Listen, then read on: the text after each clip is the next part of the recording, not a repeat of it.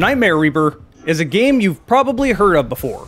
It's been in early access for quite a while now, but the full release is launching on March 28th. And with that full release comes a ton of new content. And when I say a ton of new content, I mean three different chapters, all that are around 7 to 10 hours long each. And yes, you can pet the dog.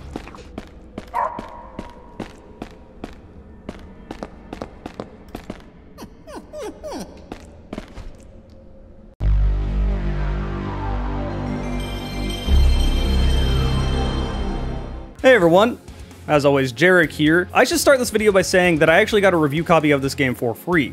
It was on my wishlist on Steam, but I only glanced at it, so I knew totally nothing about this game. So they contacted me and said, hey, do you want to cover it? The full game's coming out soon. Sure, why not? Let's play it. I'll make it really clear though that this video is not sponsored by the devs. They didn't pay me anything. They just gave me a review copy of the full game before it came out. Which is different from Into the AM, because they do sponsor this video. Into the AM makes a bunch of incredibly high quality shirts. I love these things. They fit me perfectly. They're very soft. I've had these since about August. I've washed them so many times I've lost track and they're still very soft. They have no tags so they don't itch the back of your neck, and on top of that, they have a bunch of really cool designs. And now they went ahead and added hoodies to their website, so if you want a little bit more, you can go ahead and get one of these. These are also insanely soft and very comfortable, although it's a little bit too warm to be wearing this, so let me go ahead and go ahead and take this off real quick. Oh hey, would you look at that? Some cool new designs they just added to their website. They're constantly adding in new designs and restocking their old stuff. They also have deals for these shirts. You can get three graphic tees for 60 or three basic tees for 45. But what if t-shirts and hoodies are still too warm for you? Well, they added tank tops to their website. And there's a deal for this channel. If you go to intotheam.com slash dragonshirts, you can get 10% off site-wide. And that does stack with the bundle deals I mentioned earlier. So again, intotheam.com slash dragonshirts, or just check that link down below in the video information. And I want to give a huge thanks to Into the AM for sponsoring this channel. They've definitely supported me more than almost any other sponsor has at this point, and they do so with very good products, so please check them out. So usually when someone gives me a key before the game comes out, they give me this sort of event summary, a bunch of bullet points to talk about, say, all right, talk about this, talk about this, not necessarily demanding it, but some things you may want to look at. In this case, they gave me a bullet point saying, here's the things we tried to focus on. If you want to talk about this, then, you know, feel free, but you don't have to. I wanted to take a look at their points and see how true each one of these actually are. So let's take a look at their game description. Nightmare Reaper is a dark and violent meld of retro and modern action games. This retro-inspired FPS with looter shooter and roguelite elements breaches the wall between classic and modern gameplay. Now, if you just told me that sentence, I would immediately be turned off from this game. However, when they say elements of those things, they really do just mean elements of them.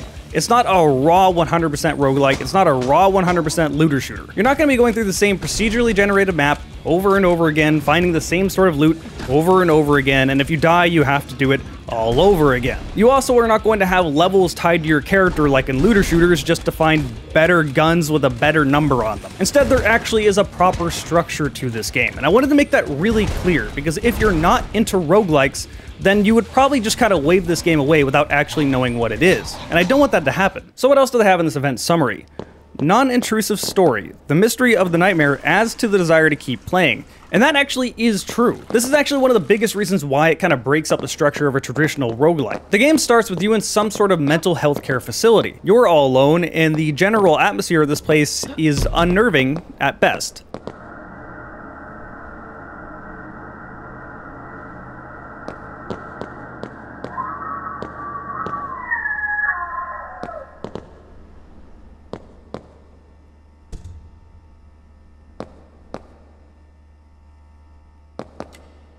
You'll quickly piece together that you're a patient here. If you walk over to this desk, you'll find a piece of paper that will give you a brief look into why you're here. What's your background? What's going on? Every time you go to sleep in your bed, you have nightmares. These nightmares are where the roguelike elements come in. I'll talk about them soon when I'm talking about the gameplay. Every time you wake up, you'll get another piece of paper on your desk telling you a little more about what's going on from the doctor's perspective. At least I think it's a doctor. Whoever is taking care of you. For a person to morph into such a monster. Deep childhood trauma had to be the reason. On top of that, you'll slowly gain more access to this facility. Your door may open one time, and you'll find a keycard to open that door whenever you want. Perhaps another door is blocked open by a table. Again, as the game goes on, you get more access to this seemingly abandoned facility, and something's going on. A light may break as you go near it, Some figure may flash in front of you. Each time you wake up, there's some different scribbles on the wall. Maybe there's some blood on the mirror. As I mentioned, the atmosphere of this place is unnerving. And the devs were not wrong when they say you want to keep playing to figure out this mystery. So there's one thing this game does that's very different from other roguelikes. There's an actual story you will be invested in. Or at least I was. But also the whole time I was playing this game, this general structure for the story reminded me of something else. It reminded me of a Half-Life 2 mod called Underhell. In fact, Underhell did it the same exact way. You would be in this house and something would be odd.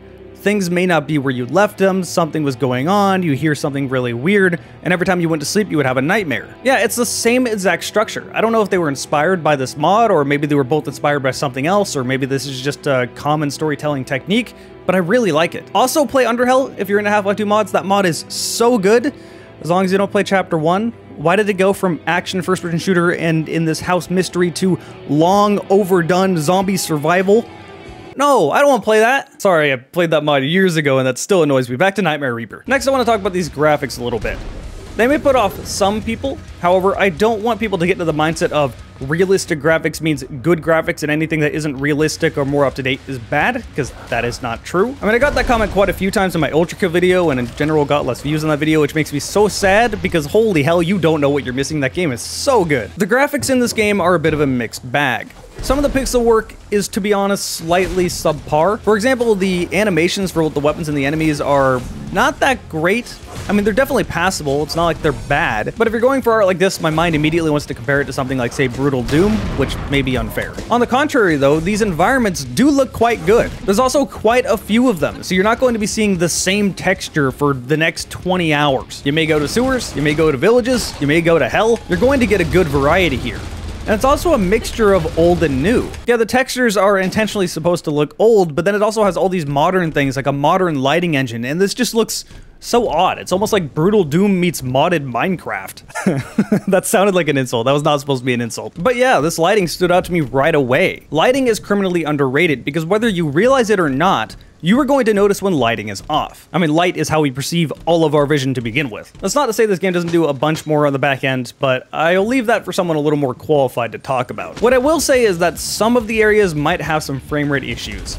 More specifically, the villages. I was playing at 1440 and mostly running this around 120 FPS, but the village areas could see my frame rate occasionally tank to around 60 and slightly dipping below that. All the other areas seemed to play perfectly fine, it's just the village area. It's nowhere near bad enough to actually hurt the gameplay, but I thought it was weird that this one area had some frame rate issues while the rest of the game ran perfectly fine. But okay, now we get to the real meat of a video game. The gameplay. So let's see what they have to say about gameplay in here. Tons of enemies are crammed in open-ended levels full of surprises and geysers of blood and treasure. Yeah, true. And that goes right in line of one of the other things I say here, a mix of manual and random level generation. Tons of random events and secrets to discover. As I mentioned, the general structure of this game is that you explore the facility as much as you can at the moment, or just go right to bed and skip that if you just want to keep playing the levels, which then puts you into this procedurally generated level. While these levels are procedurally generated, I never found any of them that were like giant branching mazes that I got lost in and didn't have fun. Something is definitely keeping them in check. And as you play through the game, they do continue to escalate, giving you better weapons and better enemies. The different textures are also separated. You may get three sewer levels, and then wake up, and the sewer levels will be done, you'll get an achievement for it, and then it'll skip to village sections, just as an example. And for me, this was the perfect pacing. Every time I get bored of one area, I would find myself in another. And one of the most important things this game does is that at the end of every single level, you're only allowed to keep one weapon. All the others are sold for gold. While this may seem annoying at first, what this actually does is cuts down drastically in the amount of time you find yourself in menus. You won't be micromanaging every 5 seconds. One of the other things this game does that's different from other roguelites is that if you die, you don't restart the game all over again.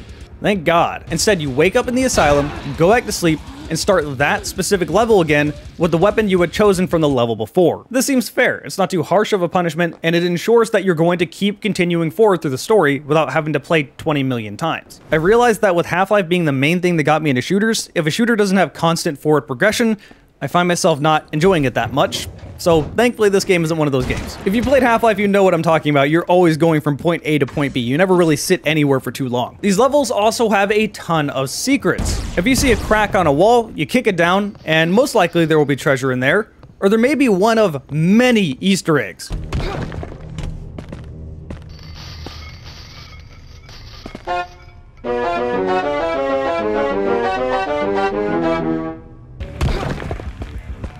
That Half-Life?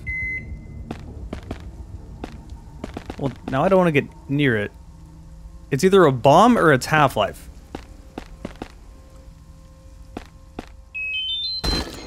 Oh my god, it's Half-Life. Yeah, look, there's the lambda symbol. That's neat. Wait. Mop? Just a regular mop? Does it work? Oh my god, it works. I'm getting gold for this. This is just Viscera cleanup detail.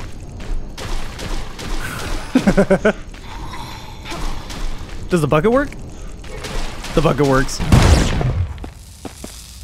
Oh, hey, Sebby.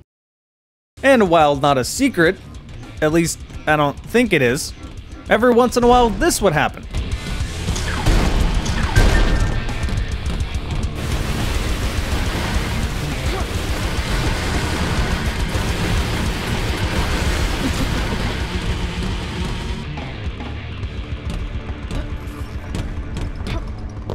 I don't know what's going on here. I don't know if there's a super low chance of just spawning barrels like crazy all around you to get a bunch of loot, or if I equip something that would give me the chance for this to happen, but this is a thing, and it happened three times while playing through the game. And once you break through all of these barrels, you are going to have a ton of weapons. Probably a few new ones you've never seen before, maybe a few really good ones, Either way, at the end of the level, you will have a bunch of gold. One of the things they have written down here is that the music and audio is done by Andrew Hulshult from Doom Eternal, and about a million other games. I am not complaining. One of the first things I noticed when I started playing the game is that the music is really good. I didn't read the event summary before I started playing the game, so my experience was, this sounds super familiar. And then when I looked this up, I was like, oh, okay, yeah, that makes sense. Ludicrous weapon variety. 80 unique weapons, 58 were in early access, that can drop as loot and contain a funky mix of over 30 different enchantment types. Yeah, this is 100% true. I'm still finding new weapons that I had never used before. I don't mean a different variation of a weapon I've used, I mean just straight up new guns. More importantly, these weapons are more than just, oh look, I have an M14, I have an M16. While I do appreciate getting realistic weapons, in fact, there's a Garand in this game that has the ping, That's pretty awesome, but I also really like the more unique weapons, something that you can't get anywhere else. I'll give a few examples. I'm obviously not going to cover all of these guns. We'll be here until the next election cycle if I try to do that. Let's start with the melee weapons. I'll talk about the whip. The whip has a little bit more range than a sword, that's kind of a given, but every weapon in this game has a split function. And in this case, you power up your whip and turn it into an explosive whip. You have just enough space to hit people without hurting yourself, but if they get too close, they'll hurt you, and I killed myself a lot this way. My personal favorite weapon in the game, though, is the Hornet Queen. This thing effectively is just a rebranded Hive Hand, but is actually good. This thing shoots bees that home onto targets and does a good amount of damage. But also, its split function is a little bit gross.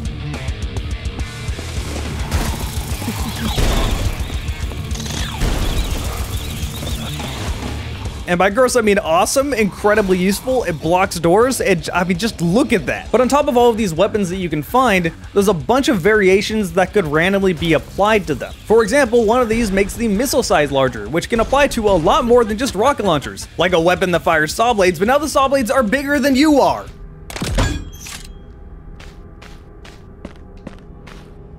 Or maybe you'll get random projectile. So instead of getting a rocket launcher that shoots rockets, you get a rocket launcher that shoots black holes. Maybe you'll get a weapon that just has a leech property so it heals you when you shoot enemies. Like, you get the point. With so many different weapons, with so much randomness, with so many different enchantments, none of these guns are gonna end up being the same. This game really is highly replayable, and with the general structure, with there not being quite as much of a punishment from other roguelites, it really encourages you to sort of experiment, see what you can do, try out that new gun you just got, try out your weapons with the power-ups you may come across. These power-ups can do many different things, one of which will allow you to dual-wield your weapon. However, if your weapon is already a dual-wielded weapon, then you get four arms.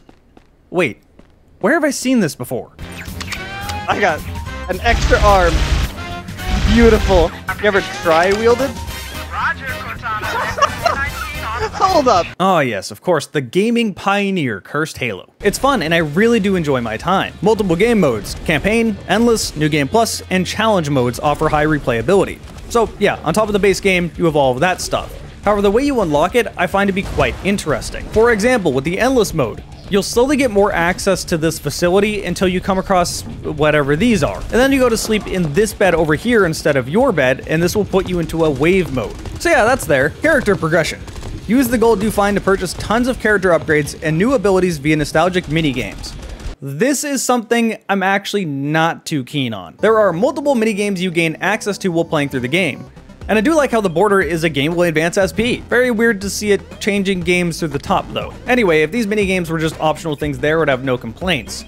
However, you need to play these to gain access to these skills, and that's where I start complaining. In fact, apparently the dev agrees. I'm actually adding this after I recorded the voiceover because you can turn these off and I had no idea. The way I found out is that I got curious to see if anyone else didn't like these minigames, because they were also in the early access build, and I googled them. Very quickly I found a Steam thread with the devs saying that the minigames were the biggest complaint, with a few solutions. The solutions they came up with were A, make the minigames more fun, and B, give players an option to opt out of these minigames. However, hide this option so that players have to play them. However, this is the part I don't agree with because the options are buried so deep in the game's settings, chances of you finding them or even knowing they exist is almost none. The game never tells you you can turn these off. Hell, the event briefing they gave me for the full launch didn't tell me either. Keep in mind, these minigames give you access to pretty important things, like double jumping, dashing, getting more health, carrying more ammo, having more weapon slots, or even passive stuff like taking 20% less damage or ammo drops, dropping more ammo. And it's not like you're going to get these things instantly, you're going to be spending a significant amount of time in these minigames. So I really don't think the ability to turn these off should be hidden deep in the menu without the game telling you at all. Perhaps after they unlock a few abilities, the game will tell you, hey, you can turn these off. Now, I'm not saying this because I don't care about other genres and I only care about first-person shooters, because that's not true. I play a lot of other games.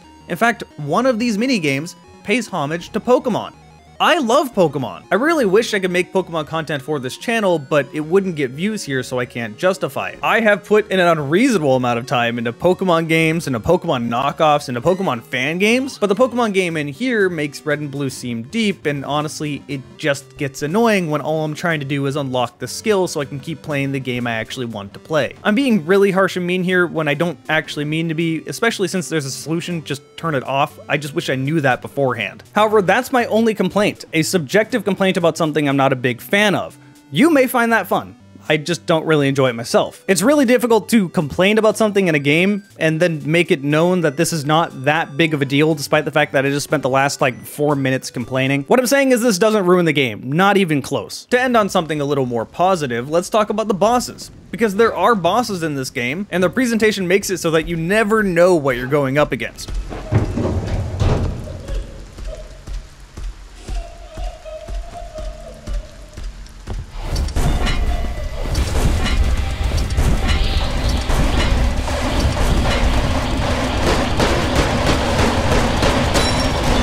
The general structure of finding out the mystery of this facility wherever you are, your past, getting all these different guns, exploring the depths of your nightmares, is endlessly fun and endlessly replayable. And it'll appeal to a wide variety of people. You don't have to appreciate roguelikes, they're not generally what I like. And you don't have to be into retro games, this feels more modern as far as movement and shooting goes. For the full release, it easily gets my stamp of approval, and I would highly recommend you play it. It's not often a game comes out of early access.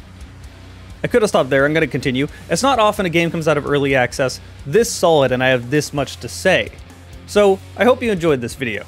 I want to give a big thanks to Into the AM for sponsoring this channel. As a reminder, you can get three graphic tees for 60 or three basic tees for 45, and go to intotheam.com slash dragon shirts to get 10% off, which stacks on these bundles. Also, there is the hoodie and the tank top, you know, you guys remember. I also want to thank people that join me over on Twitch. My Twitch is twitch.tv slash Jarek Gaming Dragon. If you subscribe on Twitch, you get to see videos at least one week early. I have a video up that's like coming out in four weeks, so you really do get early viewing. And of course, I want to thank all of you for watching this video.